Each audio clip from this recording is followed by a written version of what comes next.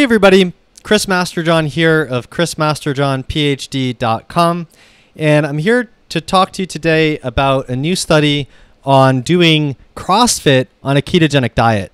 And this is a master's thesis by Rachel Gregory of James Madison University and it's the study is entitled A Low Carbohydrate Ketogenic Diet Combined with 6 Weeks of CrossFit Training Improves Body Composition and Performance. And the title is slightly misleading because what it actually shows is that the ketogenic diet does not hurt the performance gains that come with doing CrossFit.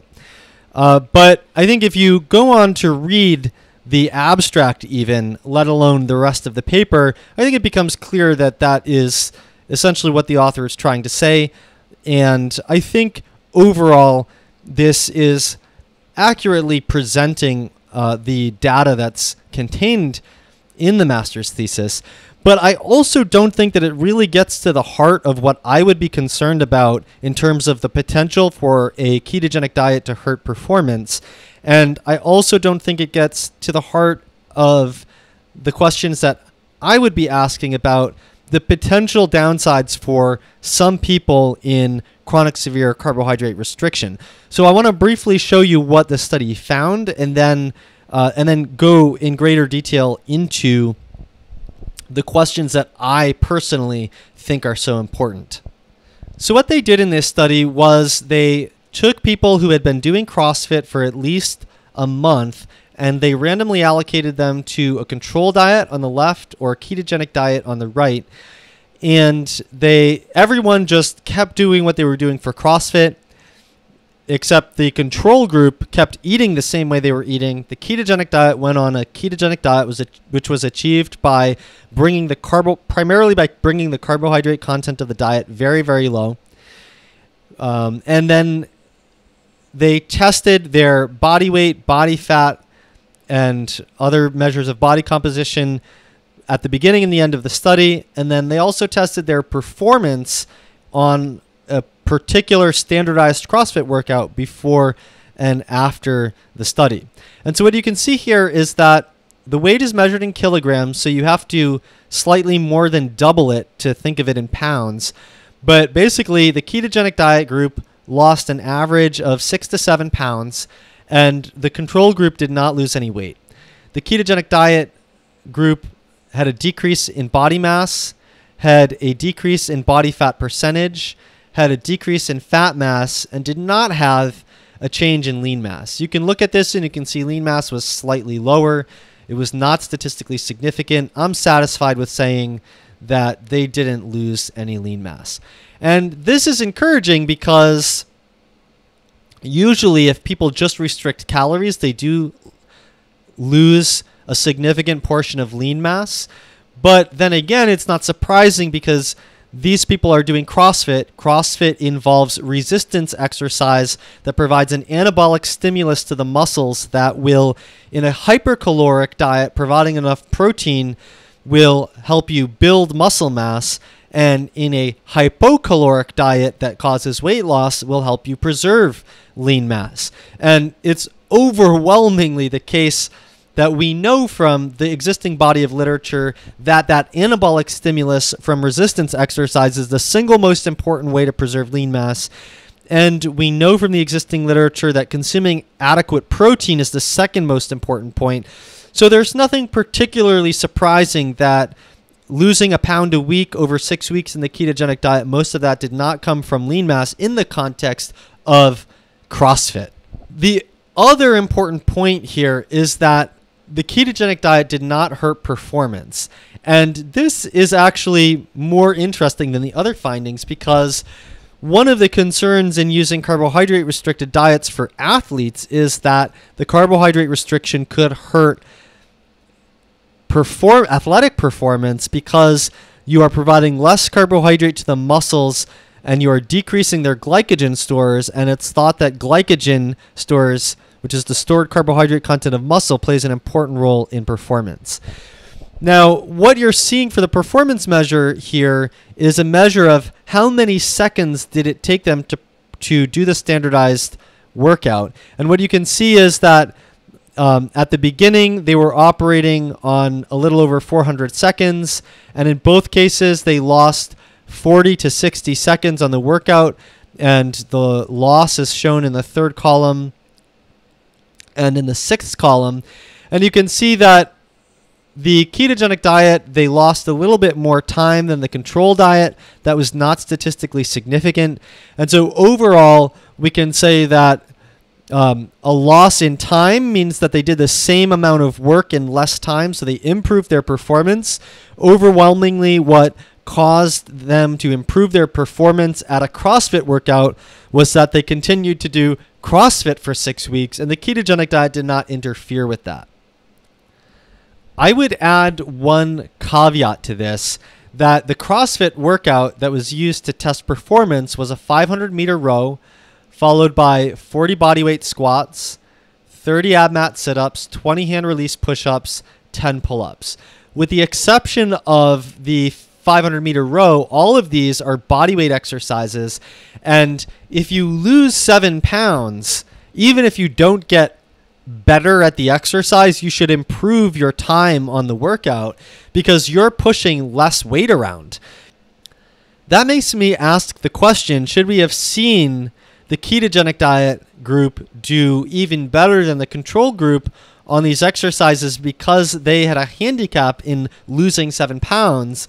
Um, but then again, uh, maybe that's exactly what we're seeing here when we see that the ketogenic diet group cut 14 more seconds off of the uh, control group, and the study was just statistically underpowered to show that was a statistically significant difference.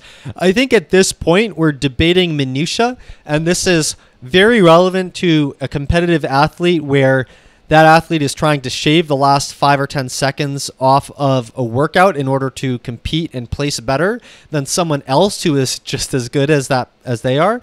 Uh, but it's not re- relevant to the average Joe. And I think the if you read this paper, it really seems like what they're trying to get at is is the combination of a ketogenic diet and a CrossFit workout is that combination a legitimate way to lose weight and um, and get fit and have fun and have a social support network that makes the program sustainable for the average person who wants to achieve those goals. And I think for that purpose, the study shows that yes, it is an option. I think this sentence towards the beginning of the paper really encapsulates how this fits into the rest of the literature on weight loss. Additionally, the AHA ACC TOS guidelines for the management of overweight and obesity in adults lists a low carbohydrate diet as one of the 15 dietary approaches that is effective for weight loss. 15 dietary approaches for weight loss, that's a pretty big toolkit. I think the reality is as many permutations as you could have of these diets, you could have more and more tools in that kit. Ultimately, anything that is going to help you create a caloric deficit in a way that leaves you feeling satiated and energetic in a way that is consistent with your psychological and behavioral traits that allows you personally to make it sustainable is the thing that's going to be an effective weight loss tool for you and that's going to be different for everyone. So it's nice that the ketogenic diet is one of the approaches in this very very large toolkit that we have for weight loss. I want to switch gears now and talk about why I really don't think that this study is getting to the heart of my concerns about how a carbohydrate restri- restriction would potentially hurt athletic performance or how it would potentially hurt our hormonal systems. And I'm not saying that it was asking the wrong questions. I'm just saying that it's not asking questions that I think are very important. So if we look at the performance times, what we see is that overall, these people were working in the range of saying, can I take this seven minute workout and make it a six minute workout? And those types of workouts are not the types of workouts that are most dependent on carbohydrate for performance. What I'm going to show you now to back that up is from the textbook Modern Nutrition in Health and Disease. And it's from chapter 112 Physical Activity, Fitness, and Health by Gary Hunter. What this chart here is showing you is the three different systems of energy metabolism across time. And so it takes us from one second of continuous activity through 1800 seconds of continuous activity. And it shows these systems in white, gray, or blue. So the white zone is the system that's dependent on creatine. The gray zone is the system that's dependent exclusively on glucose or carbohydrate. The blue zone is the zone that is flexible in terms of supporting it with carbohydrate, protein, or fat. And this blue zone, oxidative phosphorylation, is the zone that because we can support it with carbohydrate, protein, or fat, it is very flexible. And that is the zone that can be keto adapted or fat adapted. This white zone is supported by creatine, and that doesn't really have much to do with fat or carbohydrate. It mainly has to do with your endogenous synthesis of creatine and how much creatine you get in your diet. Your creatine in your diet is coming from meat, animal flesh, or it's coming from creatine supplements. And this white portion is primarily active at the very beginning of exercise. It's overwhelmingly dominant for exercise that's lasting up to 15 seconds. It loses a dramatic amount of its importance just after 15 seconds, and then after 90 seconds, it progressively becomes more and more irrelevant. By contrast, this blue zone is becoming slowly and increasingly relevant, primarily as we get to things lasting more than 90 seconds, and then as we get longer and longer, it becomes overwhelmingly the dominant thing. Now, this blue zone on someone on a mixed diet, that's going to be largely carbohydrate. But in someone on a ketogenic diet, that's going to shift to largely flat because that's fat because that's the flexible zone. But this gray zone here is what's important for carbohydrate restriction, and that is overwhelmingly dominant at 15 to 90 seconds. And the reason that you can't really fat adapt this zone or keto adapt this zone is because this is what happens when the ATP utilization in your skeletal muscle is exceeding the rate at which oxygen is available to produce ATP through the oxidative phosphorylation, which is this blue zone. So when you start contracting your muscles very intensely, suddenly ATP utilization is dramatically increased. And your nervous system needs to coordinate a response to deliver oxygen to that tissue, but that involves coordinating a greater breathing rate in your lungs, coordinating a greater heart rate, pumping faster, coordinating the delivery of oxygen through the blood pumped by the heart to the muscle tissue, perfusing the tissue, getting the oxygen into the cells, saturating that new level of oxygen. All of that is going to take a couple minutes to take place. And when you keto adapt or fat adapt, what you're doing is you're adapting the muscles to be able to increase the cellular machinery involved in taking up and utilizing ketones. That's not doing anything to adapt the rate at which your brain, your lungs, your heart, your blood vessels can all coordinate this delivery of oxygen. You can't you can't really change that from diet all that much. And so let's think of the exercises that are really impacted by this 15 to 90 second range. When I think of exercises like that, I think of a five rep squat or a five rep deadlift or bench press or vertical press. So, in the context of CrossFit, what I would want to see is if you take trained individuals who have a very strong sense of what their 5RM is and then they take that well trained 5RM and try over the course of six to eight weeks to push their 5RM to a new personal record or PR. Can they do that as well on a low carbohydrate ketogenic diet as they can on a mixed carbohydrate inclusive diet? That is where I would really see that to be impacted. Take this out of CrossFit. Where do you see contexts in which short bursts of energy lasting 15 to 90 seconds are really important? You see it in basketball, baseball, football, soccer, racquetball, tennis, basically every competitive sport that people have built a community around watching or you know the things that are popular to play for recreational purposes those sports involve very intense bursts of energy and then periods of, of rest. And um, i'm not a sports fanatic but you don't need to you don't need to watch basketball that many times to see that that's exactly what people are doing. And it's probably even more obvious in football or baseball that that's what's happening.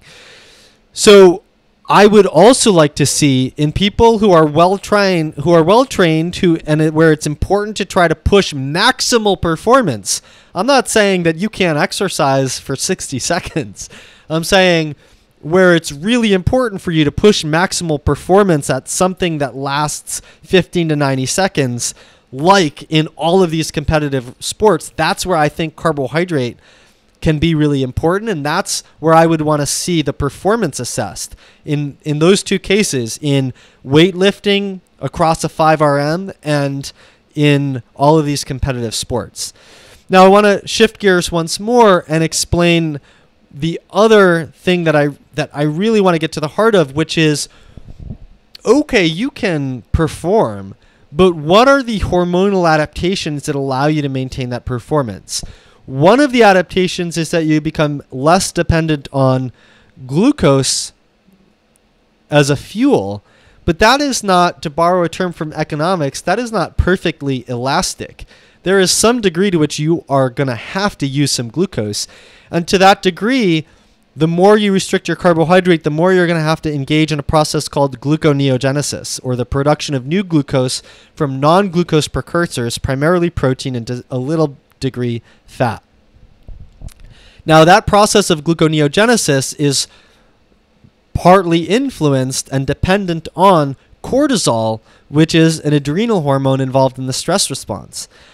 And so then the question becomes are you getting too much of a stress response from the carbohydrate restriction in order to be able to support your performance at these activities. And so I am not going to go into the detail in this video about that because I've discussed it in detail elsewhere. And I would say if you want this to be really, if you want a, a, more extensive discussion where this is well supported, I would encourage you to go to chrismasterjohnphd.com slash 11 which is where I used the Daily Lipid podcast, episode 11, to, to, to discuss this in detail. But basically, when you have less insulin signaling from less carbohydrate, one of the things that can happen is that your thyroid hormone can fall.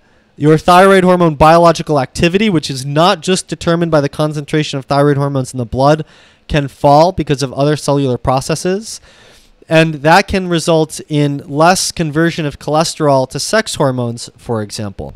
So I would look on a personal level for the following things in blood work to substantiate that that could be happening low free T3, high cortisol, high LDL cholesterol, and low sex hormones. If you see three out of four of those things happening in a pattern, I would be concerned that you have some metabolic changes that are going to negatively impact your health in the long term that can best be supported by increasing the carbo- carbohydrate content of your diet. And I think if whether that happens in you or doesn't happen in you is largely determined by how full is your stress bucket. There are many things that we could view as positive that we would include as stresses, fasting, carbohydrate restriction, weight loss, being so excited you can't sleep, work stress, emotional stress, psychological stress, all of these different things could be visualized as filling up a common pool of stress in this stress bucket. And if your stress bucket is full because you have many other stresses or you have one or two other stressors that are really, really high in magnitude, then that may tip you to the point where you can't tolerate the stress of carbohydrate restriction.